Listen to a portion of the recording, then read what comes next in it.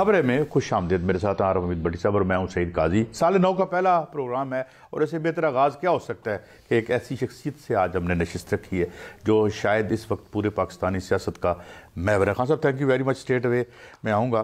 पहला सवाल तो मेरा बड़ा सादा सा है। ये फरमाइए कि वो क्या हुआ ऐसा कि एक तमाम रवायती शराफिया हो या मुख्तर तबकात हों यहाँ के everything was going well and all of a sudden हमें लगा कि पूरे क्राउड हो गया सारे इकट्ठे होके आ गए सामने।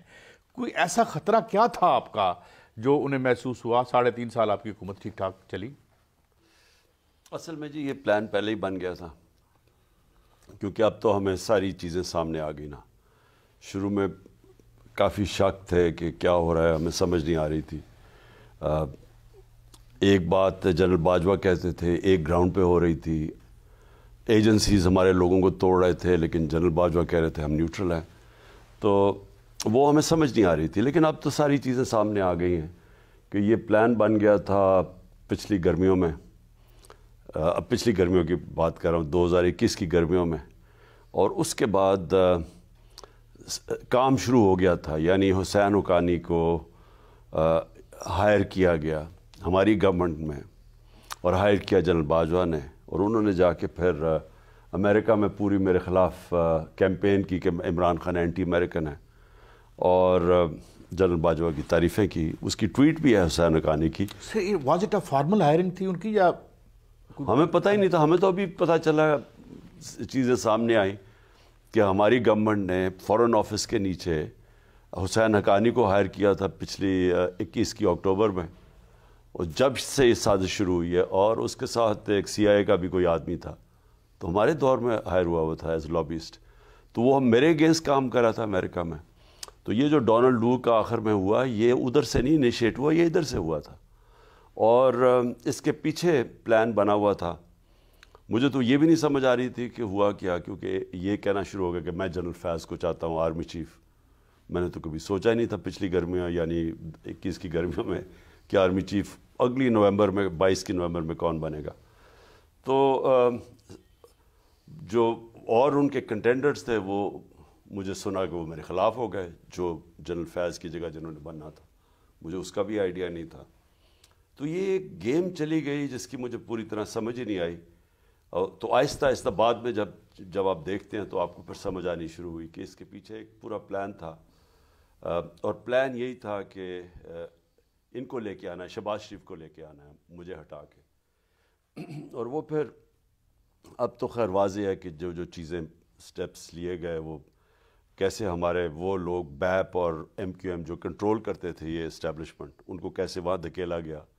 शाहजैन बुख्ती जो कि उनके अलावा खाना नहीं खाता, उनकी परमिशन के अलावा, उसको वो जब वो गया तो हमें पूरा वाजे हो तब हमें एंड में वाजे हुआ। कि ये इनका प्लान बना हुआ है हमें हटाने का। अच्छा हाँ सब जनरल एक्सटेंशन की बाजवा के बाद आपने उनके रवैये में क्या तब्दीली देखी जिससे आपको महसूस हुआ कि ये दूसरी तरफ़ भी कोई बात चल रही है इनकी? देखिए जब एक्सटेंशन एक्सटेंशन हो गई ना तो एक जनरल बाजवा एक्सटेंशन से पहले थे एक बाद में थे। जो एक्सटेंशन होगी तो मेरे ख्याल में उन्होंने फिर जो वोट पास करवाया असम्बली के अंदर सारी इन पार्टीज़ को साथ मिलाया और नून लीग को ख़ास तौर पे ऑन बोर्ड लिया। तो मेरे ख्याल में तब अंडरस्टैंडिंग हो गई थी इनकी। और इनके सारे केसेस से पीछे हट गए। उसके बाद उससे पहले मैं जब कहता था कि तसाब होना चाहिए क्योंकि याद रखें केसेस सारे पहले के बने हुए थे। ये हमारे दौर के नैब के केसेस नहीं थे। ये पचानवे फ़ीसद इनके दौर के केसेस बने हुए थे। इसहाक डार इनके दौर में भागा नवाज़ शरीफ के बेटे इनके दौर में भागे शबाज शरीफ का दामाद इनके दौर में भागा। तो ये केसेस तो सारे पहले थे। पैनमा के केसेस बने हुए थे और उसके बाद बने थे।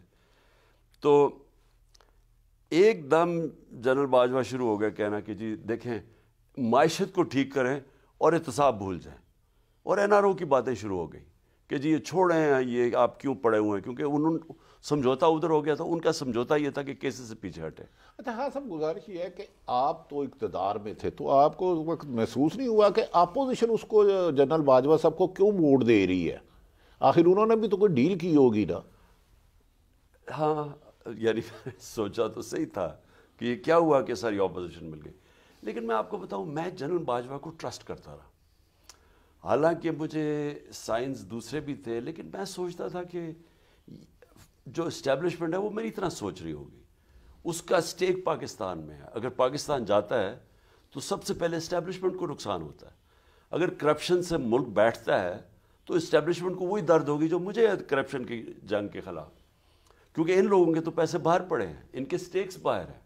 इनके घर बाहर हैं, इनके इलाज बाहर हैं, इनके बच्चे बाहर हैं, इनकी, इनका सब कुछ बाहर है। तो इनका तो स्टेक ही पाकिस्तान में नहीं है। जो दो बड़े ख़ानदान हैं, जो तीस साल से लूट रहे हैं। तो मैं ये समझता रहा कि इनकी जो ये मेरे साथ ही जनरल बाजवा भी वही सोचते होंगे जो मैं सोच रहा हूँ। तो वो और वो कभी इस, इसके ख़िलाफ़ गए नहीं। वो इंडिकेशन यही देते रहे कि हाँ मैं भी यही इनको बुरा भला कहते थे कि बड़े करप्ट हैं ये मुझे हमारे से बोलते रहते हाँ थे। साहब उन्होंने कहा कि आपने कल बयान दिया है कि जनरल बाजवा ने आखिरी मुलाकात में आपके मादी से मुतलिक कुछ बातें की। तो इसके और इनके करीबी अजीज़ों के बारे में भी कुछ खासी इंफॉर्मेशन मार्केट में थी। आपको इस किस्म की इतला थी कि वो क्या कर रहे हैं?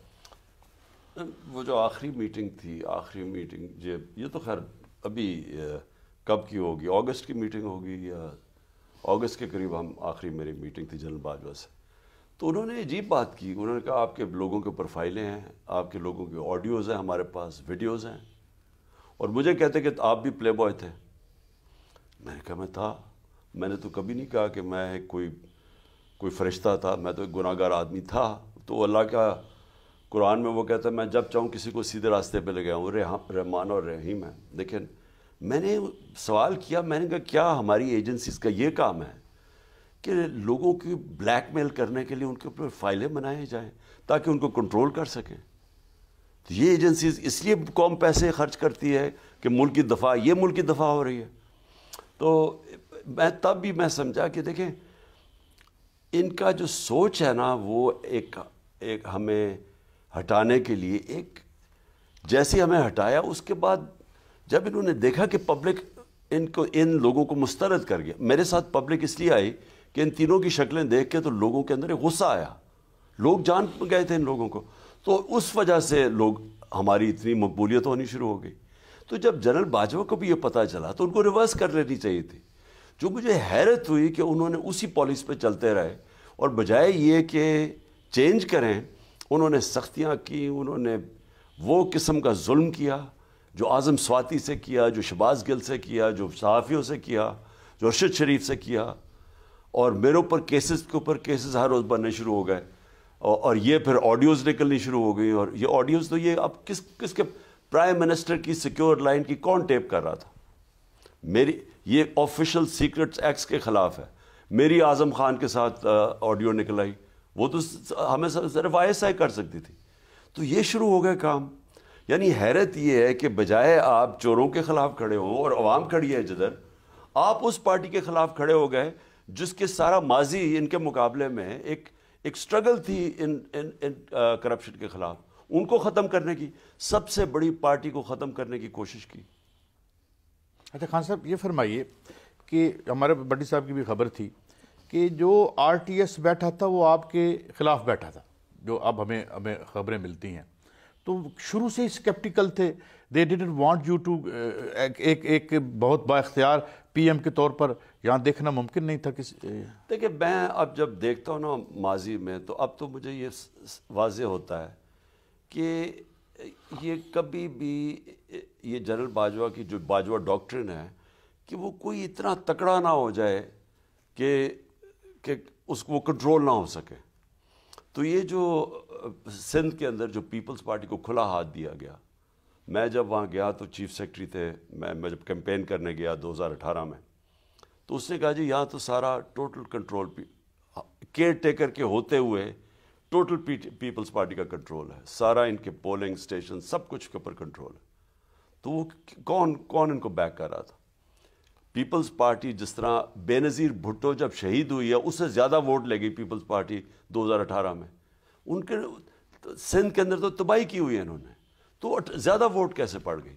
तो उसके अलावा हमारे कई कैंडिडेट्स को 50 से हारा, कोई 200 से हारा, यानी लाख लाख वोट में।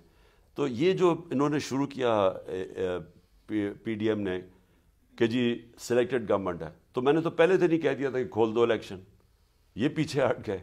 हालाँकि 2013 में जब इन्होंने धांधली की तो हमने सिर्फ़ चार हल्के मांगे थे। चार हल्के ये खोलने के लिए तैयार नहीं थे। हमने तो जब इन्होंने हमारे से, हमने कहा खोल दो, क्योंकि इन्होंने 2013 में धांधली की थी। हमने 2018 में मैं, मेरा ख्याल, हमें ज़्यादा सीटें मिली थी जितनी उससे, जो कि हमें दी गई थी। अब देखें, ख्वाजा आसिफ, जनरल बाजवा मेरे सामने, सबके सामने कहते हैं कि ख्वाजा आसिफ का मुझे शाम को आठ बजे टेलीफोन आया कि जी मैं हार रहा हूँ, जनरल साहब मेरी मदद करें। और मैंने कहा, फ़िक्र ना करो, तुम जीत जाओगे। और वो जीत गया। यानी किसी दुनिया में इस तरह की चीज़ सुनी आपने? कहीं दुनिया में ये कोई आर्मी चीफ ऐसी चीज़ कह सकता है कि उसने मुझे टेलीफोन किया, मैंने कहा, तुम फ़िक्र ना करो, जीत जाओगे। तो इस, इससे क्या मतलब उन्होंने तो ये भी कहा कि जो एन आर ओ और बड़ा लेफ़्ट हैंडेड कम्प्लीमेंट था मोहम्मद अहमद खान साहब जो उनके दोस्त भी हैं और बड़े कि वो जी हमने एन आर ओ तो खान साहब को दिया था। उनको तो दिया ही नहीं हमने। Admitting this how do you look at it नहीं तो क्या एनआरओ दिया? मैं तो खुद भी ये समझना चाहता हूँ कि मेरे मैंने क्या किया था जो कि मुझे एन आर ओ मिले। मुझे कौन सी चीज़ थी जिसके ऊपर मुझे किसी ने बचाया हो? हाँ सब गुजारिश है देखे ना लंदन ये ये कहते हैं ना इनके जो फ्लैट्स थे लंदन में शरीफों के, वो यहाँ से चोरी करके पैसा भेजा गया बाहर। और उधर जाके ये कहा गया, उन्होंने कहा, बता नहीं सकते थे कि पैसा आया किधर से। जी कतरिए ने हमें फ्लैट गिफ्ट कर दिया, ये कह रहे थे ना। तो वो सबसे महँगे इलाके के लंदन में चार फ्लैट्स अभी तक ये नहीं बता सके कि पैसा किधर से आया। मेरा एक फ्लैट था लंदन में। इन्होंने कहा, जी, वो उसके ऊपर इन्वेस्टिगेट करो। साकिब नसार की अदालत ने वो इन्वेस्टिगेट किया। मेरे से इन्होंने एक एक सबूत लिया। चौंसठ मैंने डॉक्यूमेंट्स दी कि मेरे, मैं तो क्रिकेट खेलता था, जब मैंने फ्लैट आज से चौंतीस साल या चालीस साल पहले लिया था। तो मैंने तो एक एक डॉक्यूमेंट दी कि क्रिकेट में एक अर्निंग किधर से आई कॉन्ट्रैक्ट्स दिखाए कि किधर से मैंने पैसा अर्न किया। अदालत को सेटिस्फाई किया, ये पैसा, इस पैसे से ख़रीदा। इतने का बेचा, वो सर्टिफिकेट दिया। मनी, जो जो जो कहते हैं मनी ट्रेल, वो दी कि वो वहाँ से पैसा पाकिस्तान ऑफिशियल बैंकिंग चैनल से आया। तो मैं, मुझे किस तरह किसी ने बचाया है? मैं तो पाकिस्तान से हलाल की कमाई पाकिस्तान लेके आ रहा था। ये हराम की कमाई पाकिस्तान से बाहर भेजा। मेरा इनके कैसे मुवजना हो सकता है? अच्छा हाँ गुजारिश है कि ये अब आपको लाडला कहते हैं। ये अजीब लाडला है कि उसकी इकतदार छीन ली गई, उस पर तीस मुकदमा दर्ज कर दिए गए और कातलाना हमला भी करवा दिया गया। तो क्या समझते हैं, सारी पीछे मौजूदा हुकूमत है या कुछ माजी के इस्टेब्लिशमेंट के लोग भी हैं आप? नहीं, ये मिली, ये हुकूमत इनके साथ थी जनरल बाजवा के दौर तो पूरी पूरी तरह ये इकट्ठे मिल के इन्होंने हमारे ऊपर जुल्म किया। हर किस्म का जुल्म किया। मैं आपको बताऊँ, ऐसे मुझे लगा कि जैसे मैं कोई गैर मुल्की कोई गद्दार हूँ या मुल्क का दुश्मन हूँ, यानी इस तरह इस तरह मैंने ज़िंदगी में, मुझे तो अब पहली दफ़ा अंदाज़ा हुआ कि जब आपके ख़िलाफ़ स्टेट हो जाए और आपको एक एक सारी स्टेट की पावर आपके ख़िलाफ़ इस्तेमाल हो तो वो यानी वो इंसान किस तरह गुजरता है? क्योंकि उसके पास तो कोई जगह ही नहीं रह जाती। उसके पास फंडामेंटल राइट्स जो हैं उसके, वो पाकिस्तान का इंसाफ का निज़ाम वो प्रोटेक्ट नहीं करता। अब मैं, मुझे पता है कि तीन, ये जो मुझे गोलियाँ लगी हैं, जो मेरे ऊपर हमला था अब तो खैर जे में चीज़ें भी सामने आ जाएँगी। आप दो तीन दिन में देखेंगे कि क्या क्या चीज़ें सामने आएँगी। तो ये वाजे हो गया कि इन्होंने असैसिनेशन मेरे ऊपर प्लान किया। मैंने पहले कहा, दो महीने पहले कहा कि ये करने वाले हैं। दीनी इंतहा पसंद के नाम पे मुझे कत्ल करने वाले हैं। ये मैं सब कुछ पहले कह बैठा था। मैं अपनी एफ़ आई आर रजिस्टर नहीं कर सका। एक्स प्राइम मिनिस्टर पार्टी मेरी पावर में पंजाब में, पंजाब पुलिस मेरी एफ़ आई आर रजिस्टर करने मुझे ये बताएँ इसे क्या मतलब हुआ? इसका मतलब कि यहाँ जंगल का कानून है। यहाँ कानून की हुक्मरानी नहीं है। यहाँ जो ताकतवर है, वो जो मर्ज़ी चाहे कर सकता है। ये अगर मैं, मुझे देखें, आप सोचें, निचले लेवल पे क्या इंसाफ मिल रहा है मुल्क में? कि अगर मुझे नहीं इंसाफ मिला कि मैं अपनी एफ़ आई आर नहीं रजिस्टर करूँ, जो आज़म स्वाति सेनेटर से एक ट्वीट के ऊपर, सो ट्वीट क्या किया उसने कि बाजवा ने एन आर ओ टू दिया? बच्चा बच्चा जानता है कि बाजवा ने एन आर ओ टू दिया सबको पता है। उसके ऊपर, उसका राइट है सेनेटर का ये कहना। किसी भी जमहूरियत में आदमी ये कह सकता है। उसके ऊपर जो जुल्म किया, जो उसको जलील किया, जो बच्चों के, उसके पोतों के सामने, उसको जो नंगा करके टॉर्चर किया, उसके पर गंदी वीडियो बीवी को भेजी, इससे ज़्यादा एक माशरा कैसे नीचे गिर सकता है? तो खान साहब आप कैसे ठीक करेंगे कि एक्स प्राइम मिनिस्टर पे उसकी हुकूमत में होते हुए कातलाना हमला हो जाता और वो मौजदाना बच जाता पर मुकदमा नहीं दर्ज करा सकता। शहीद अरशद शरीफ की वालदा रो रो के कहती है उसका मुकदमा दर्ज नहीं होता तो डू यू थिंक कोई बेहतरी आएगी अगर आप इकतदार में आते हैं तो क्या ऐसा करेंगे?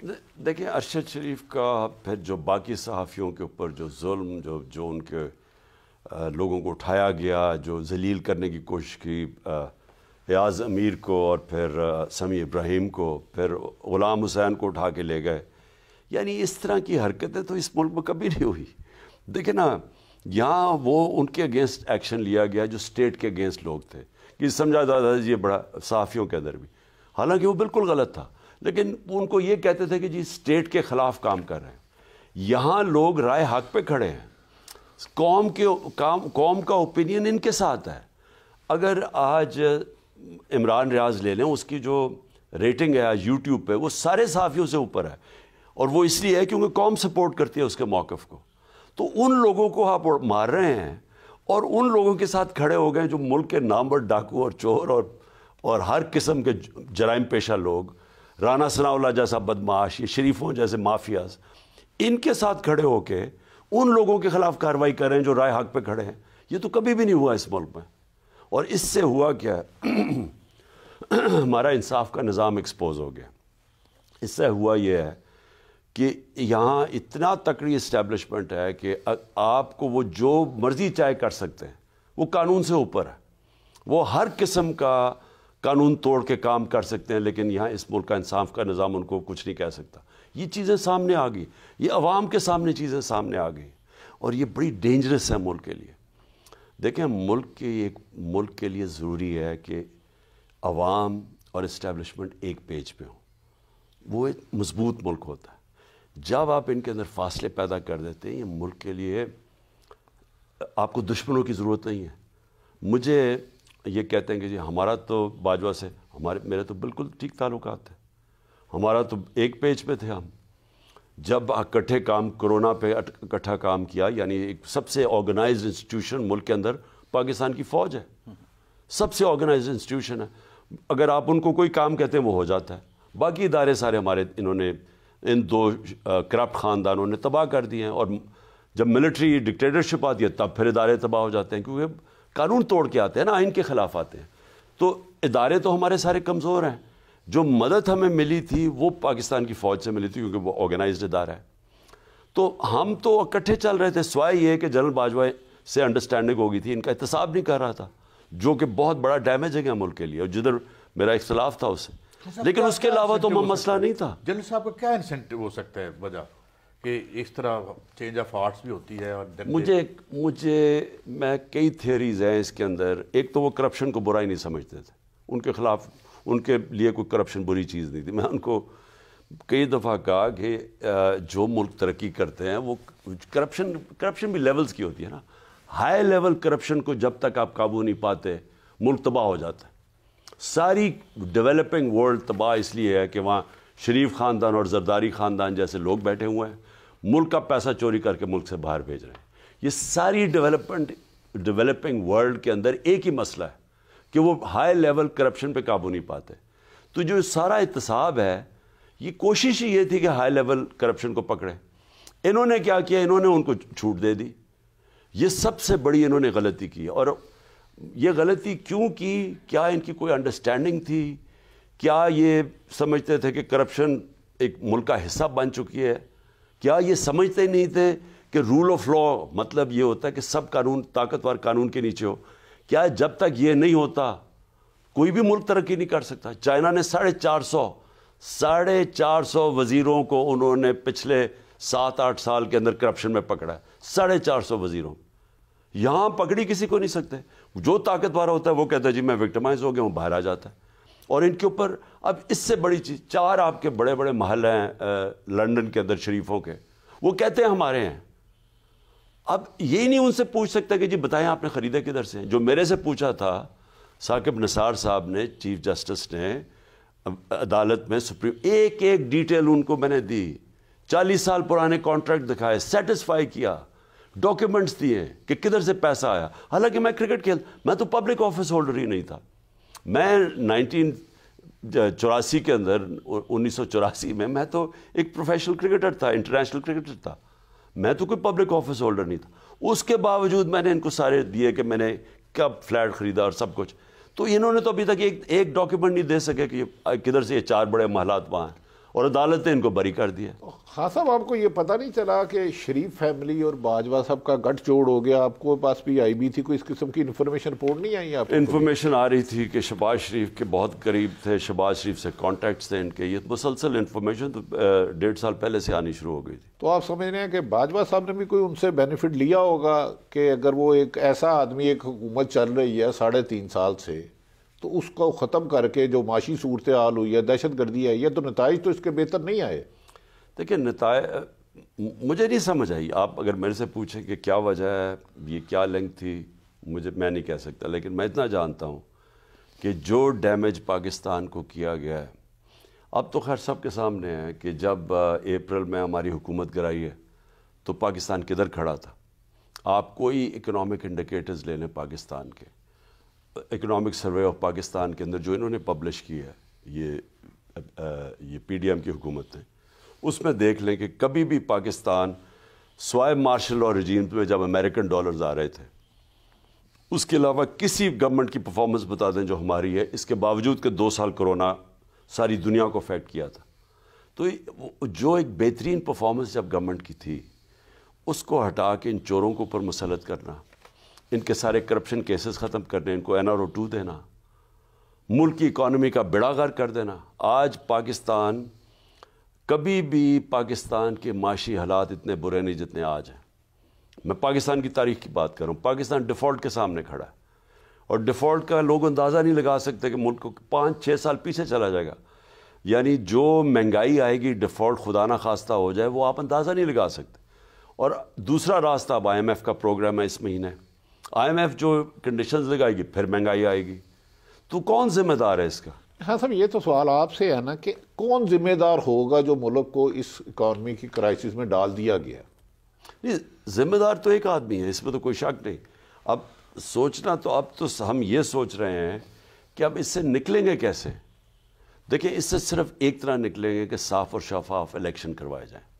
क्योंकि उससे क्या होगा एक दफ़ा एक गवर्नमेंट आ जाती है मैंडेट के साथ फिर पॉलिटिकल स्टेबिलिटी आ जाएगी। बिजनेसेस इन्वेस्ट तब करते हैं जब उनको ये पता चले कि अगले पाँच साल या तीन साल एक हुकूमत बैठी है, क्योंकि आज मैं कभी भी अपने पैसे नहीं लगाऊँगा अगर मुझे ये पता ना चले कि गवर्नमेंट चलेगी कितनी देर।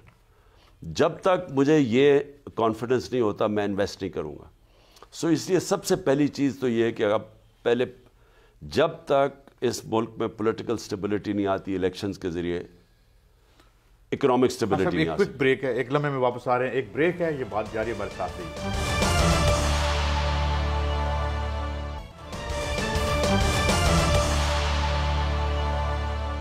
वेलकम बैक अच्छा खान साहब अब इन्होंने तय कर लिया है come whatever be right now कि जी आपका रास्ता रोकना है चाहे हमें अल्ताफ हुसैन को लेके आना पड़े ये कहानी वहाँ उनकी वज़ीर ने भी कह दी है सईद गनी ने कि जी हमें कोई इतना। अब खान साहब मुझे पिछली दफ़ा भी आपसे बात करके ऐसे लगा कि मुझे लगता है ये आपका तस्वर है कि ये अपने बोझ से खुद गिर जाएँगे, क्योंकि आज एन की मीटिंग हो रही है। तीन दिन पहले हुई थी। It's a very grave situation आज फरूख सलीम साहब का आर्टिकल भी आया हुआ हाउ डू यू थिंक कि ये अवाम डिसफ्रेंचाइज नहीं होंगे and you will get back back to power when they are adamant कि नहीं जनाब, जो हो जाए ऐसी नहीं आन देना देखिए ना, अब ये मैं भी यही सुनता हूँ कि जी इन्होंने सारा प्लान किया हुआ है कि किसी ना किसी तरह इमरान खान का रास्ता रोकना कि इमरान खान कोई बहुत बड़ा मुल्क दुश्मन आदमी है। तो ये जो सारे चोर बैठे हुए हैं, किसी ना किसी तरह ना इमरान खान का रास्ता रोकना तो इमरान खान का रास्ता चले, आप रोक देंगे। लेकिन मुझे ये बताएँ कि पाकिस्तान के मसाइल हल कैसे करेंगे? क्योंकि अल्लाह ने किधर पाकिस्तान को ला के खड़ा कर दिया? जब तक पॉलिटिकल स्टेबिलिटी नहीं आती इकोनॉमिक स्टेबिलिटी नहीं आती। अब ये इनके होते हुए तो अब कोई होप नहीं ना रह गई जो इन्होंने मुल्क से कर दिया पिछले सात महीने में, दुश्मन भी ना करता। अपने तो एनआरओ ले लिया इन्होंने, लेकिन मुल्क को तो इन्होंने घुटनों पे ले आया आज हमारा मसला ये है कि अगर आप आईएमएफ की कंडीशंस मानते हैं तो पहले तो रुपया फ्री फ्री फ्लोट होगा।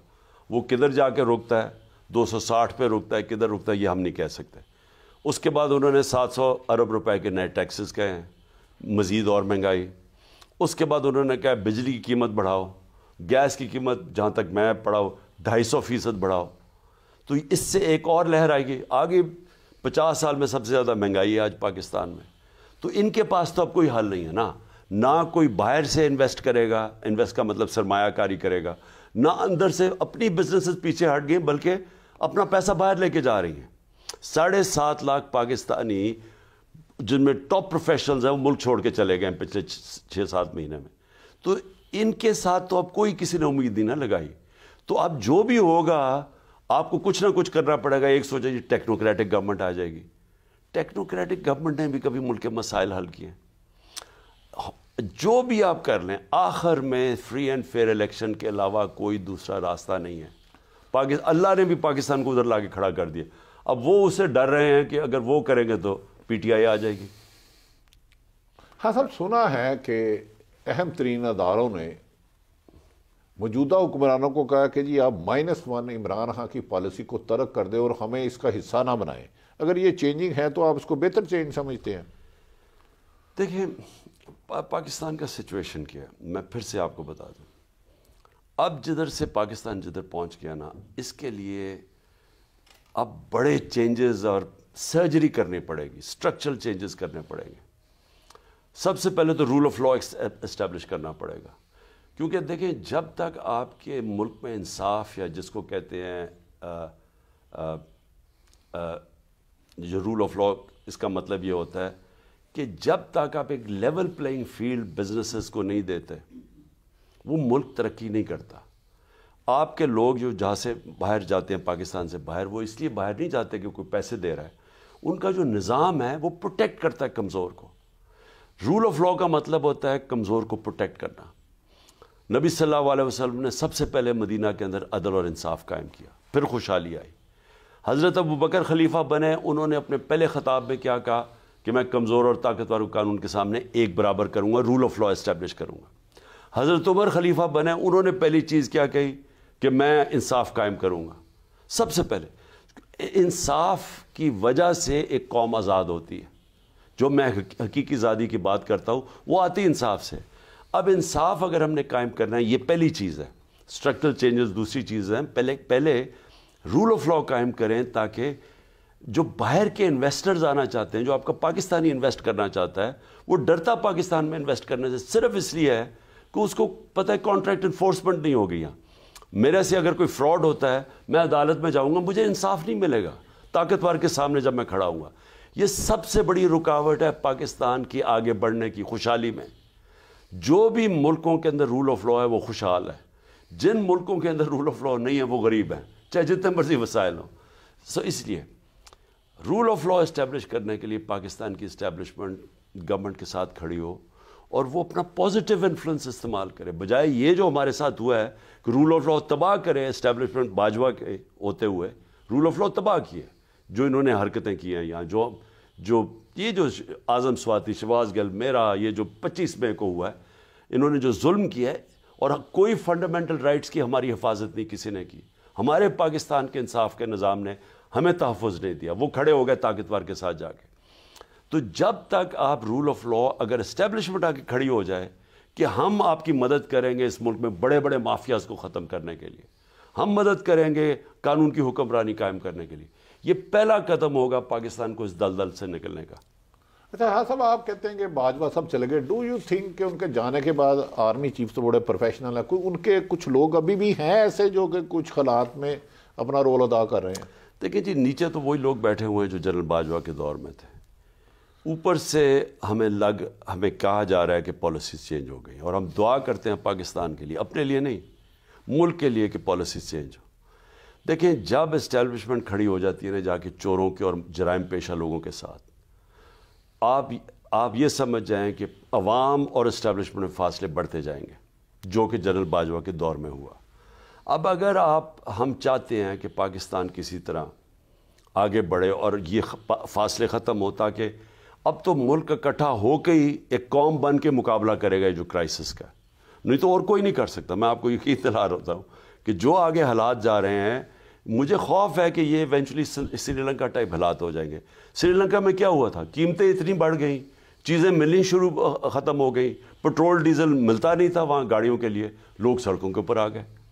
तो ये तो अगर अगर ना इस वक्त, इस मुल्क की इस्टेब्लिशमेंट ने फैसला किया कि हमने ये एक एक साफ़ और शफाफ इलेक्शन से एक एक मैंडेट वाली गवर्नमेंट को बैक करके या रूल ऑफ़ लॉ कायम करके, ये सारे जो माफियाज बैठे हैं, इनको ख़त्म करके, ये जो डॉलर स्मगल हो रहे हैं पाकिस्तान से, सारी जो अशराफिया है मुल्क के अंदर, ज़्यादातर वो पैसा यहाँ से रुपए को डॉलर कन्वर्ट कर रहे हैं, वो मुल्क से बाहर भेज रहे हैं।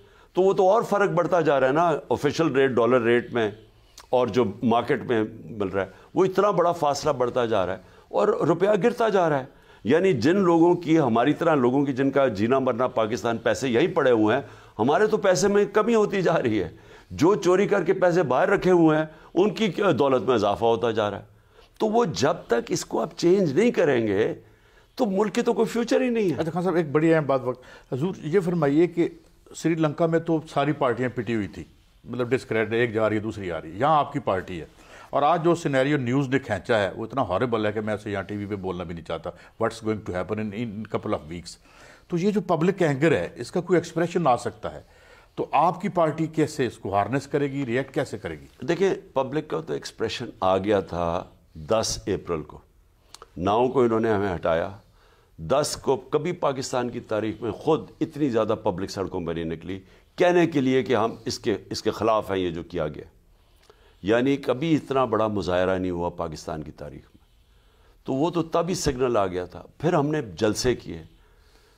पाकिस्तान की तारीख में कभी हुआ ही नहीं कि दस दिन में पिशावर में रिकॉर्ड जलसा इस्लामाबाद में रिकॉर्ड जलसा कराची के आ, वो जो मज़ार कायद पे रिकॉर्ड जलसा और फिर जाके बनारे पाकिस्तान में। ये दस दिनों में किए। तो क्यों पब्लिक निकली थी? और क्यों मैं जलसे करा था? बताने के लिए कि देखें पब्लिक इधर खड़ी हुई है। तो असूलन तो साहब अब स्पॉन्टेनियस होगा। वो नहीं, तो आपकी कॉल पे आए मैं मैं ये कह रहा हूँ कि वो लोग आते थे वो अपना वो कहते थे यानी एक्सप्रेशन ये था कि ये जो किया ये गलत किया आपने। लेकिन वो फिर मुनज़म तरीके से चले जाते थे घर में। लेकिन जब आप खुद ही ये खुद ही उस पार्टी को कमज़ोर कर रहे हैं अब ये जो एम के एम को इकट्ठा कर रहे हैं या वो बैप पीपल्स पार्टी को आ, के अंदर बैप को भेज रहे हैं ये कौन कर रहा है पीछे? तो यही है। अब मुझे ये बताएँ कि ये सारी कोशिशें हो रही हैं कि पीटीआई को कमज़ोर करना। अगर आप एक सबसे बड़ी फेडरल पार्टी को कमज़ोर कर देंगे तो उसके बाद कौन ये पब्लिक को, ये जो बजाय ये कि आप मुनज़म तरीके से लोगों का जो एहतजाज है, वो रजिस्टर करवाएँ, जो हम कर रहे थे, जब आप, ये आपके हाथ से जब निकल जाएगी तो श्रीलंका में तो सिर्फ़ सवा दो करोड़ लोग हैं यहाँ साढ़े बाईस करोड़ लोग हैं। इनको कौन कंट्रोल करेगा? छियासठ फ़ीसद हमारी जो आबादी है, वो अट्ठाईस साल से कम उम्र में है। तो वो जो सबसे जुनूनी आपका तबका है जब उसकी नौकरियाँ, फैक्ट्रियाँ बंद हो रही हैं। बेरोज़गारी दिन ब दिन बढ़ रही है। महँगाई और एक तरफ़ महँगाई बढ़ रही है, दूसरी तरफ़ बेरोज़गारी बढ़ रही है। तो ये कहीं ना कहीं तो निकलेगा ना। और अगर ये खुदा ना खास्ता हाथ से निकल गया तो कोई इनको कंट्रोल नहीं कर सकता। आप लेबनान में आज देख लें। हमारे सामने लेबनान में यही हुआ। ऊपर करप्ट पॉलिटिशियन बैठ गए। मुल्क का दिवालिया निकल गया। लोग बेचारे भागे जा रहे हैं। बैंकों में पैसे नहीं है, पैसे नहीं निकाल सकते। उनके भी सारा डॉलर लेके एलिट बाहर भाग गई है। और वहाँ गुर्बत साठ सत्तर फ़ीसद लोग गुर्बत की लकीर से नीचे चले गए। अच्छा हाँ साहब ये बताएँ आप साढ़े तीन साल मुल्क के वज़ीर आज़म रहे। आप क्या कोई ऐसा फैसला समझते हैं कि जो मैं ना करता तो आज मुल्क के हालात बेहतर होते? कोई एक ऐसा फैसला जो आप समझते हैं कि मुझे नहीं करना चाहिए था जो मैं कर कर गुजरे? देखिए दो दो थे। एक तो अगर मुझे शुरू में पता चल जाता कि मैं ये तसाब कर नहीं सकता क्योंकि मैं तो कहता मेरी तो सारी पॉलिटिक्स रूल ऑफ़ इंसाफ की तहरीक थी और ताकतवर को कानून में नीचे, के नीचे लेके आना था। तो मुझे अगर ये आइडिया हो जाता कि मैं ये कर नहीं सकता, और मुझे शुरू में ये था कि हमें पूरी बैकिंग थी कि हमारे साथ खड़े होंगे इस्टेब्लिशमेंट मतलब उस, एक आदमी इस्टेब्लिशमेंट तो एक आदमी है जनरल बाजवा जो आर्मी चीफ है, वो इस्टेब्लिशमेंट है। उसके फैसले होते हैं। हमारी फ़ौज में डिसिप्लिन इतना ज़बरदस्त है कि ऊपर जो फैसला करता है, वो नीचे आ जाता है। तो अगर मुझे ये होता कि ये एहतसाब नहीं करेंगे तो मैं उसी वक्त इलेक्शन कहता कि फिर से इलेक्शन करवाओ। मैं असम्बली डिज़ोल्व कर दो, जो मैंने अब किया। वो इसलिए मैं करता कि देखिए पावर में आने का सिर्फ़ तब फ़ायदा है जब आप, वो जो आपने लोगों से वादे किए, वो डिलीवर कर सकें। अब इन्होंने लाल बत्ती के पीछे लगा दिया कि हाँ जी, आप हो रहा है, कल हो रहा है, परसों हो रहा है। ये जब कहते हैं ना, ये नून लीग वाले कि जी, इमरान खान ने हमें सारों ने नाहल कर देना था। मैंने कानून की हुक्मरानी करनी थी। जो केसेस इनके बने हुए थे पहले से, उनको इम्प्लीमेंट करवाना था। मैंने डील्स नहीं करनी थी, मैंने इनको एनआरओ नहीं देना था। क्योंकि जनरल बाजवा ने सबसे बड़ा डैमेज किया पाकिस्तान को एनआरओ दे के अब उससे बड़ा डैमेज किया एनआरओ टू दे के जनरल जनरल बाजवा ने। जब आप ताकतवर को छूट दे दो देखें नबी सल्लल्लाहु अलैहि वसल्लम, पंद्रह तकरीबन पंद्रह सौ साल पहले कहते हैं, जो कौमें छोटे चोरों को जेलों में डालती है और बड़े चोर जब चोरी करते हैं, उनको पकड़ती नहीं है, वो तबाह हो जाती है। यानी सबसे अल्लाह के महबूब और दुनिया के अजीम इंसान और हमारे पैगंबर, वो जब ये बात कहते हैं तो क्यों नहीं हमें समझ आ रही कि आप जब एन आर ओ देते हैं तो आप वही कर रहे हैं, अपनी तबाही का रास्ता कर रहे हैं। तो मैं तो इसके खिलाफ खड़ा था। ये इन्होंने मुझे जो सबसे ज़्यादा, जो मुझे इन्होंने गलत किया कि इन्होंने उसके बाद एक्सटेंशन के बाद अंडरस्टैंडिंग कर ली और उसके बाद हिसाब होने नहीं दिया। ये एक था और दूसरा एक्सटेंशन दी। मैं समझता हूँ मुझे कभी एक्सटेंशन नहीं देनी चाहिए थी। अच्छा जैसे ऐसा मैं कहता मैंने सुना खान साहब आप नहीं चाहते थे। आपके कुछ सियासी दोस्तों ने साथियों ने ज़्यादा फोर्स किया कि एक्सटेंशन दी जाए। ये कुछ लोग आपके करीबी हल्के फरमाते हैं। मैं असल में हुआ क्या? मैं उस वक्त तो सोच ही नहीं रहा था एक्सटेंशन का तो बहुत जल्दी था। पता नहीं जुलाई की बात है या मुझे जब तो उस वक्त ये बात आ गई। मैंने तो फैसला करना था, अगर देनी थी तो अगस्त में जाके करता या बल्कि उससे भी लेट, सितंबर, अक्टूबर में करता। सितंबर, अक्टूबर में करता, वो ज़्यादा करीब जाके। उस वक्त तो मेरे जहन में नहीं था तो एनी वो ऐसे हालात बना दिए गए कि जनाब देखें, वो बड़ा मुश्किल हो जाएगा, ये हो जाएगा, वो हो जाएगा। फ़ौज के अंदर पॉलिटिक्स चल पड़ेगी, इसलिए अभी से फैसला कर दें हम। तो हम, उस वक्त तो हम समझते थे कि ठीक है, हमारे साथ बड़ी कॉपरेशन है जनरल बाजवा की तो ठीक है। तो लेकिन जो अब किया और उसके बाद अब जब पीछे देखते हैं तो बहुत बड़ी गलती थी। तो कभी कमर बिजवेद बाजवा साहब ने भी इजहार किया था उन्हें एक्सटेंशन मिलनी चाहिए। नहीं मैसेज आई थी उनकी तरफ़ से। वो तो कहते हैं मैं तो इंटरेस्टेड ही नहीं था। मुझे भी यही कहते थे। लेकिन वो लास्ट मिनट में मैसेज आई कि देखें वो कह रहे हैं कि अब उनकी पोजीशन बड़ी ऑकवर्ड हो जाएगी। तो अभी से कर दें क्योंकि फिर बाद में पॉलिटिक्स चल पड़ती है ये किसका मैसेज आया था? अब वो रहने दें मैं नाम नहीं लेता लेकिन इनकी तरफ़ से मैसेज कमर जैद बाजवा साहब की तरफ़ से। जी जी इनकी तरफ़ तो अच्छा खान साहब अब भी जब ये उनतीस नवंबर को उनकी रिटायरमेंट हुई है तो कहा जा रहा था कि शायद वो कोशिश कर रहे थे दोबारा एक्सटेंशन की। अगर एक्सटेंशन मिल जाती तो पीटीआई क्या रिएक्ट करती उस मौके पर? देखिए एक्सटेंशन वो तो हमने भी इनको कहा था कि अगर आप इलेक्शन करवा दें उन्होंने कहा आए हुए हैं। तो सैलाब अगर आए हुए हैं तो चले ठीक है अगर आप डिले हो जाए तो आप केयर टेकर गवर्नमेंट तो नहीं कर सकती आ, तो आप तब तक ठहर जाएँ जब तक साफ़ और शफाफ इलेक्शन करवा दें। तो उसके लिए तो हम तैयार थे। लेकिन वो तो दो तीन महीने की थी एक्सटेंशन थी। नहीं इस मरतबा उन्होंने तीन साल की कोशिश की कुछ खसास अहम हल्के कहते हैं। उस पर फिर शायद आ ख्याल था कि पीटीआई रिएक्ट करेगी तो इस वजह से हो नहीं सकी।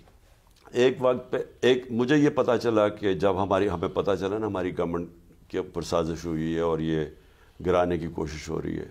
और नीचे से भी साइंस आने शुरू हो गए कि ये इनकी एजेंसीज हमारे लोगों को कह रही हैं कि उस तरफ़ चले जाओ या वही जो आखिर में बिके लोटे बन गए। और फिर ये जो दो एम क्यू एम थी और बैप पार्टीज़ से भी कहना शुरू कर दिया कि हमें वो सिग्नल्स दे रहे हैं कि जनाब आप छोड़ दें अलायंस तो जनरल बाजवा हमें कहते थे, मैं तो नहीं कह रहा, नीचे से ये हो रहा था। तो मैंने उनसे कहा कि अगर ये एक्सटेंशन का सिलसिला है, सिर्फ़ एक्सटेंशन है तो हम आपको दे देते हैं एक्सटेंशन क्योंकि हम, मैंने उन्हें कहा कि इस वक्त आपने अगर गवर्नमेंट को हटा दिया, अगर पॉलिटिकल स्टेबिलिटी अभी आ गई तो इकॉनमी किसी से संभाली नहीं जाएगी। और ये हम मैम बड़ा फ़ख्र था कि हम बड़ी मुश्किलों से यहाँ पहुँचे यानी एक बैंक इकॉनमी संभाल के, कोरोना के दो साल के बावजूद 5.7 और 6 परसेंट ग्रोथ रेट ये तो पाकिस्तान की तारीख में सिर्फ़ तब हुई है जब अमेरिकन डॉलर्स आ रहे थे डिक्टेटर्स को। उसके अलावा तो कभी हुई नहीं। तो मुझे डर ये था कि एक दफ़ा इन्होंने इसको डिस्टेबलाइज किया, हमारी गवर्नमेंट हटाई तो ये बिखर जाएगा। इकोनॉमी टेल स्पिन में चली जाएगी। तो मैंने तब उन्हें कहा, मैंने कहा, अगर ये वजह है तो हम आपको दे देते हैं, लेकिन इस वक्त गवर्नमेंट ना गिराएँ। शौकतरीन को भी मैंने भेजा समझाने के लिए कि ये मुल्क नहीं संभाला जाएगा अगर आपने किया। लेकिन मेरे ख्याल में वो ये समझ रहे थे तब कि शहबाज शरीफ को इतना बड़ा जीनियस है कि वो वाकई जो पंजाब स्पीड थी वो पाकिस्तान को कुछ उठा लेगा। और डार साहब बड़े एक्सपर्ट और हैं। दा- दार को इतना बड़ा कोई इकोनॉमिस्ट है हालाँकि इनका ट्रैक रिकॉर्ड देखे कि 99 में ये गए गवर्नमेंट बैंक 2018 में गए फिर गवर्नमेंट बैंक एक्सपोर्ट्स पाँच साल में इनकी बढ़ी नहीं।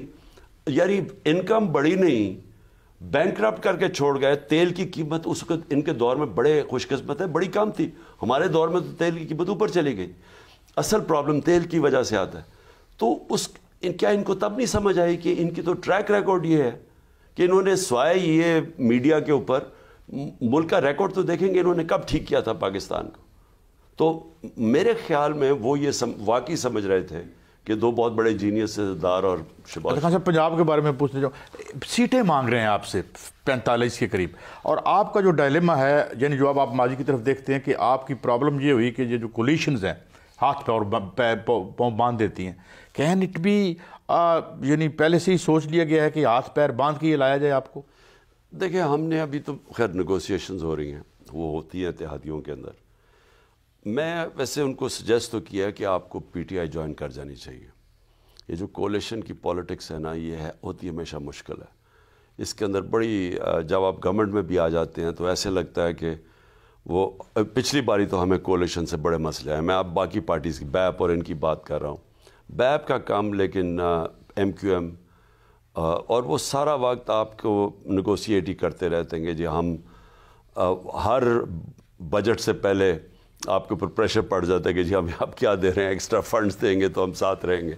तो मैं इसलिए चाहता हूँ कि हम फीलिंग लगते हैं आपको कि आ जाएँगे? हम कोशिश कर रहे हैं कि देखें एक ही टिक एक ही सिंबल पे इलेक्शन लड़े। प्लेटफॉर्म से लड़ें। जी। अच्छा हाँ साहब आप पंजाब और के पी के असम्बलियाँ तहलील करने चाहते हैं उसमें हुकूमत की खासी घबराहट थी।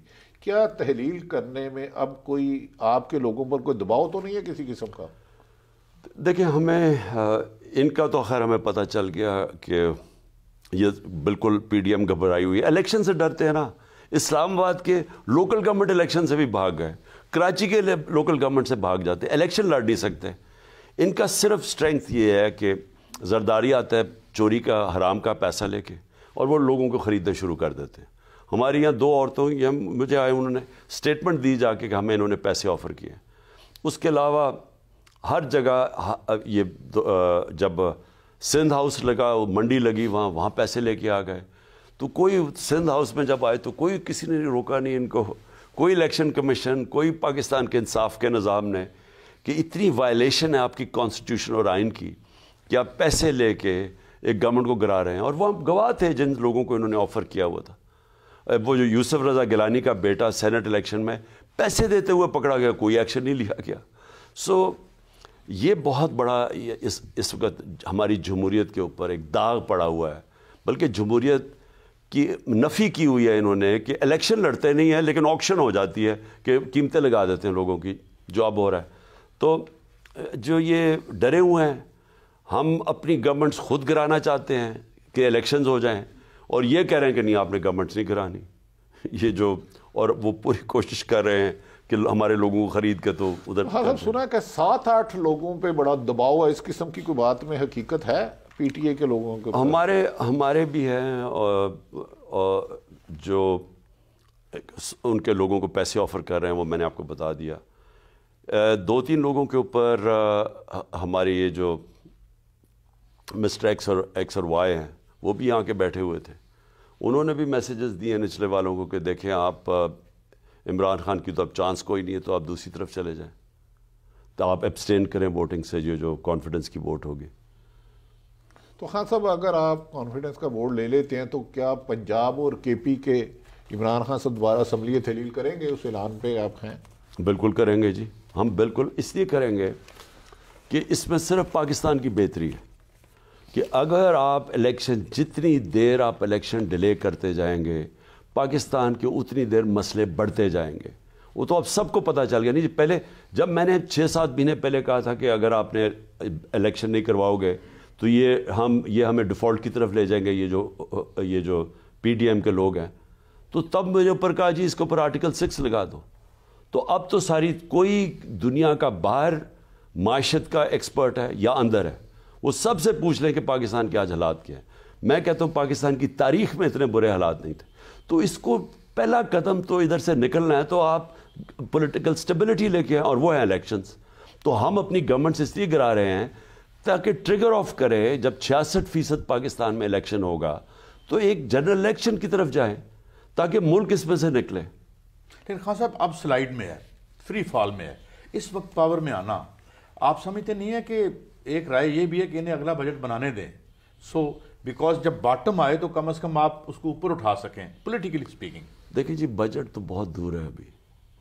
हनूस दिल्ली दूरस्त अभी तो ये ये महीना जो है जनवरी का जब ये आईएमएफ की पूरी कंडीशनलिटीज़ मानेंगे तो वो जो बोझ अब आवाम के ऊपर पड़ने लगा है पहले तो इसका इस, इसके इसका सामना करें वो।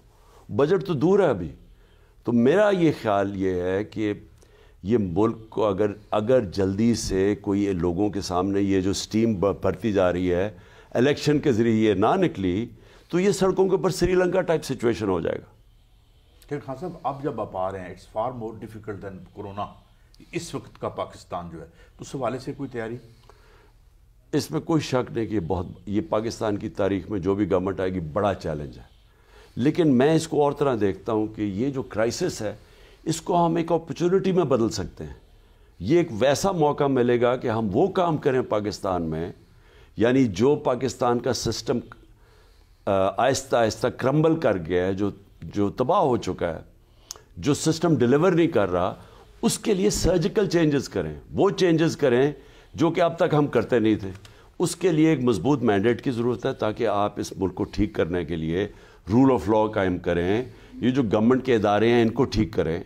इसमें सर्जरी करें क्योंकि कई ऐसे इदारे हैं जो कि आपके बन चुके हैं इस, इस यानी डिपार्टमेंट्स बन चुकी हैं गवर्नमेंट मिनिस्ट्रीज बन चुकी हैं जिनका कोई आउटपुट ही नहीं है बल्कि वो आगे बढ़ने से आपको रोकते हैं। मसन आपने एक्सपोर्ट्स बढ़ानी है। मुल्क अब तब उठेगा जब एक्सपोर्ट्स बढ़ेंगे क्योंकि जब तक आमदनी आती नहीं है तो आप तो हर वक्त आईएमएफ के सामने बैठे रहेंगे क्योंकि डॉलर्स आ नहीं रहे मुल्क में इंपोर्ट ज़्यादा इंपोर्ट्स एक्सपोर्ट्स कम है। तो हम पहली गवर्नमेंट थे जिसने ज़ोर लगाया एक्सपोर्ट्स की तरफ़ और तैतीस अरब डॉलर की तरफ़ एक्सपोर्ट्स ले गए। टेक्नोलॉजी के ऊपर ज़ोर लगाया जो असल देखें अगर हम सिर्फ़ आईटी के ऊपर अब फ्यूचर टेक्नोलॉजी का ये पहली दफ़ा हमने ज़ोर पचहत्तर फ़ीसद तीन सालों में हमारी एक्सपोर्ट्स बढ़ी थी आईटी की। वो तो जब तक अब हम उस तरफ़ नहीं जाते और हमारी कई अब तक मैं जब पावर में था रुकावटें हैं इनके सामने। वो रुकावटें दूर करें। इस मुल्क का पोटेंशियल हाँ माफ़ी चाहता हूँ एक जहाँ आपने दो रिपोर्ट्स बनवाई थी एक खुदा बख्श बकर साहब की उन्होंने कहा था ये सारी रेगुलेटरी अथॉरिटी बंद कर दो. And that was a great job at least हमें पता चला कि ये कर क्या रहे हैं। आईपीपीज हैं खौफनाक ब्लीडिंग हो रही है कास्ट ऑफ़ डूइंग इसको अगर आप नहीं पकड़ते तो यहाँ तो मैं आपको कह रहा हूँ ना पाकिस्तान में एलिट कैप्चर है। एक यही नहीं कि सिर्फ़ ये पीडीएम के लोग कानून के ऊपर की हमें एनआरओ दे दो। यहाँ बड़े बड़े माफियाज बैठे हुए हैं। हर जगह शुगर माफिया अब शुगर माफिया वो मिलकर चीनी की कीमत तय कर देते हैं। कहीं भी नहीं होता। तो रेगुलेटर जो है कंपटीशन कमीशन वो सारों के इन्होंने उनको वो क्यों नहीं काम कर रहे रेगुलेटर्स क्योंकि इन्होंने उनके ऊपर स्टे ऑर्डर्स दिए मैंने रेगुलेटर्स को बुलाया, आठ रेगुलेटर्स को। उन्होंने कहा जी ढाई सौ अरब रुपये हमारा फंसा हुआ है। क्योंकि उन्होंने स्टे ऑर्डर्स लिए हुए हैं। आठ सौ स्टे ऑर्डर्स हैं। तो कौन सा ऐसे स्टे ऑर्डर्स हैं कि रेगुलेटर को काम करने से रोका हुआ है? कौन दुनिया में कहाँ रेगुलेटर को आप काम करने से रोकते हैं? आप ये कहें कि हाँ जी, रिज़ल्ट आया, उसके ऊपर चैलेंज करें। ये तो ना कहें कि आप इन्वेस्टिगेट ही नहीं कर सकते, ये फलानी इंडस्ट्री मैं कंपटीशन कमीशन की बात कर रहा हूँ। तो देखें, इसमें, और ये सारा आ जाता है रूल ऑफ़ लॉ में। कौन बचता है? कौन ये सारी चीज़ें करे ताकतवर। ताकतवर क्यों बच जाता है? क्योंकि वो कानून के ऊपर है। वो इस मुल्क के कानून को हर जगह उनके पास पावर है। कि रोकने के लिए। कौन सफ़र कर रहा है? कौन फंस रहा है? वो बेचारी पाकिस्तान की अवाम है। अच्छा हाँ सब देखिए दहशत गर्दी बहुत ज़्यादा आ गई है जिसे बड़ी मुश्किल से काबू किया गया था। कल को पीटीए की अगर हुकूमत आती है इनकेस तो क्या स्ट्रेटेजी होगी? क्या ऑपरेशन किया जाएगा या डी मजाकरत किए जाएगा? देखिए जी पहले तो ये पूछें कि दहशत गर्दी बड़ी क्यों है। हाँ उससे पहले हमारे जो दहशत गर्दी आती थी वो अफ़गानिस्तान से आती थी या टीटीपी थी या आइसल था और या फिर बलोच टेररिस्ट थे। हमारी गवर्नमेंट ने तीन साल में तालिबान की बातचीत करवाई अमरीकनों से। और जब ये अफ़गानिस्तान में तालिबान की हुकूमत आई तो हमारे सबसे बेहतरीन ताल्लुक थे अफ़गानिस्तान की गवर्नमेंट से। और वो क्यों थे? क्योंकि हमारे ताल्लुक पहले से बने हुए थे, ये जब नगोसिएशन चल रही थी अमरीकनों के साथ। उसके बाद जो सारी इवैक्यूएशन हुई तालिबान अफ़गानिस्तान से तीन लाख लोगों को, यूरोपियंस थे, अमेरिकन, सब, उनको पाकिस्तान ने फैसिलिटेट किया था। और सारी दुनिया पाकिस्तान की तारीफ़ें कर रही थी। मुझे कॉल प्राइम मिनिस्टर्स वगैरह सब की आती थी शुक्रिया अदा करने के लिए। और वो इसलिए कि हमारी तालिबान से, हुकूमत से बड़े अच्छे ताल्लुक थे। तो जब उनसे अच्छे ताल्लुक थे, हमारा मसला था टीटीपी अब टीटीपी को उन्होंने फिर कहा कि आप पाकिस्तान वापस जाओ। जब वो पाकिस्तान उन्होंने आना था तो एक बड़ा अच्छा टाइम था कि हम उनके साथ सेटलमेंट करें यहाँ, क्योंकि चालीस पचास हज़ार लोग थे फैमिलीज़ बुला के उनके। उन्होंने सेटल होना था पाकिस्तान। सेटलमेंट के लिए उनके साथ मुजाकरात और फिर हमने पैसे भी एलोकेट किए थे रिहेबलेटेड करने के लिए। फिर फाटा के लिए एक्स्ट्रा फंड्स दिए थे ताकि फाटा मैंने बार बार कहता रहा मीटिंग्स के अंदर कि जो हमें मसला आना है ना, अगर हमने ये सही माने में फाटा मर्जर जो हुआ है, उनके लिए हमने पैसे ना दिए, उनको एलोकेट ना किया वो अगर यहाँ मसले, मसाइल शुरू हो गए फाटा के अंदर तो हम, हमारे मुल्क के इस वक्त दम नहीं है, हमारे पास पैसा नहीं है कि एक और वॉर ऑन टेरर का सामना करें। लिहाजा हमने पूरी कोशिश की, हमारी बातचीत चल रही थी, हमारे मुजाकर चल रहे थे, तब तक हमारी गवर्नमेंट चली गई। अब इनकी गवर्नमेंट आ गई। इनका काम था कि उधर से आगे लेके जाते। ना इनका कोई इंटरेस्ट था। शबाज शरीफ कितनी दफ़ा कबायली इलाके में गया है कि, कितनी दफ़ा उसने उसको पता ही नहीं है ना उसको इशू समझ है।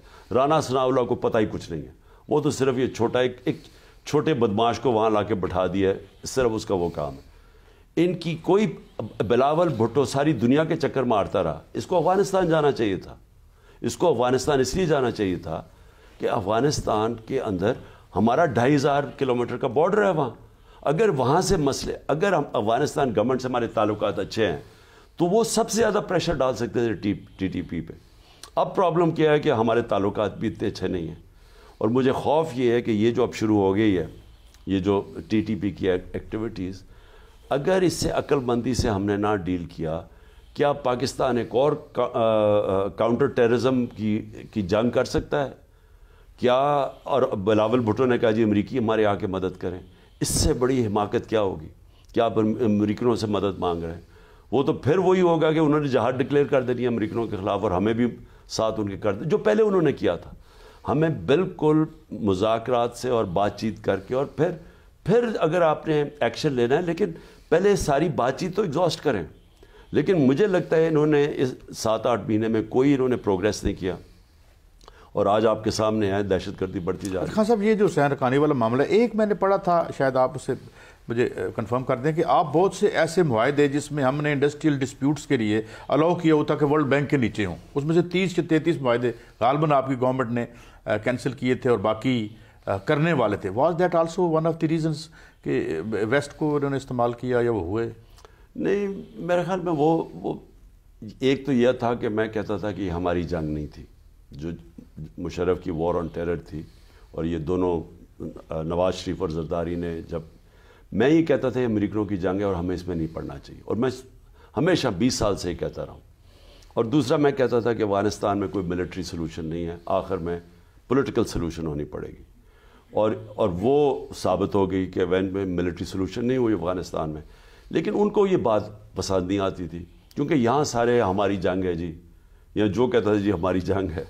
सारे तो उनसे सच भी नहीं बोलते थे वो जलील भी करते थे वो कहते थे अच्छा, अगर आपकी जंग है तो हम आपको बड़ा फेवर कर रहे हैं पैसे दे के। तो वो कहते थे जी हम आपको पैसे भी दे रहे हैं आपकी जंग में और आप इनको तालिबान वो चाहते थे कि हमारे ज़रिए तालिबान की अफ़गानिस्तान तालिबान को शिकस्त दे। वो हम दे ही नहीं सकते थे। वो हमारे जो हाथ में ही नहीं था। लेकिन ये उनको खुश इतना कर रहे थे कि आखिर में वो हमें बुरा भला कहते रहे कि जी जब वो उनका जो फेलियर था अफ़गानिस्तान में वो हमारे पर डाल रहे थे। तो बहरहाल एक ये इशू था दूसरा ये था कि बेसिस की बात हुई थी बेसिस की बात खैर उसने मेरे से पूछ भी लिया। आ, तो मैं तो सोच भी नहीं सकता कि आगे से हम किसी और किसी की जंग में शामिल हो। जैसी आपने बेसिस दे दी इसका मतलब कि आप उधर आ गए कि जो भी उनका मुखालिफ होगा वो आपका बन जाएगा मुखालिफ। हम तो चाहते हैं कि अमन हो ताकि हम तजारत बढ़ाएँ और अपनी इकॉनमी को ठीक करें। जो हम जियो इकोनॉमिक्स की बात शुरू कर रहे थे बजाय जियो स्ट्रेटिजिक की सिर्फ़ बात करते थे। तो मैं बिल्कुल समझता हूँ कि हमें किसी की जंग में, और अब ये रूस और अमेरिका का, हमें एब्सटेन करना चाहिए था बीच में, जो हिंदुस्तान कर रहा है। हमें तो फ्रीक नहीं बनना चाहिए, क्योंकि हमें रूस की ज़रूरत है पाइपलाइन की, हमें ज़रूरत है उनकी, गंदम की, और सस्ता तेल लेने की, जो एक वक्त पे वो दे रहे थे हमें। सो इसलिए मैं समझता हूँ कि हमारी फॉरेन पॉलिसी कभी किसी की गुलाम नहीं होना चाहिए। तो खान साहब कैसे ये जो इकोनॉमिक देखना इंडिया साढ़े पाँच सौ बिलियन डॉलर के फॉरेन एक्सचेंज रिज़र्व पे बैठा हुआ है। अब तो पाँच बिलियन रह गए हैं खान साहब माफ़ करे। तो हम कैसे इंडिपेंडेंट फॉरेन पॉलिसी बनाएँगे? तो ये ये देख लेना जी तीस साल से जो हुकूमतें बैठी हुई हैं उनसे सवाल तो पूछें कि क्या किया आपने अपनी डॉलर इनकम बढ़ाने में? कि आ, हमारी दौर में मैं सिर्फ़ ये कह दूँ कि हमारा रिकॉर्ड डॉलर आया पाकिस्तान में। हमारी बत्तीस अरब डॉलर की रेमिटेंसेस थी और हमारा तैंतीस अरब डॉलर की एक्सपोर्ट्स थी। ये रिकॉर्ड है पाकिस्तान में। और अगर हम चलते रहते तो मैं पूरी कोशिश थी कि किस तरह डॉलर बढ़ाएँ। और वो ये एक तरीका है। अगर आप अपनी डॉलर इनकम नहीं बढ़ाएँगे और इम्पोर्ट्स बढ़ाते जाएँ तो मुल्क ने तो बैंक होना ही और आई के पास जाना ही है आपने। खान साहब it was a great pleasure और बहुत सी बातें सामने। नाजरीन उम्मीद रखते हैं अल्लाह हमें बेहतरी की तरफ़ ले जाए, लेकिन ये बड़ा मुश्किल पीरियड है। और इसमें हमें मुश्किल फैसले करने होंगे। इजाज़त दीजिए फिर मिलेंगे अल्लाह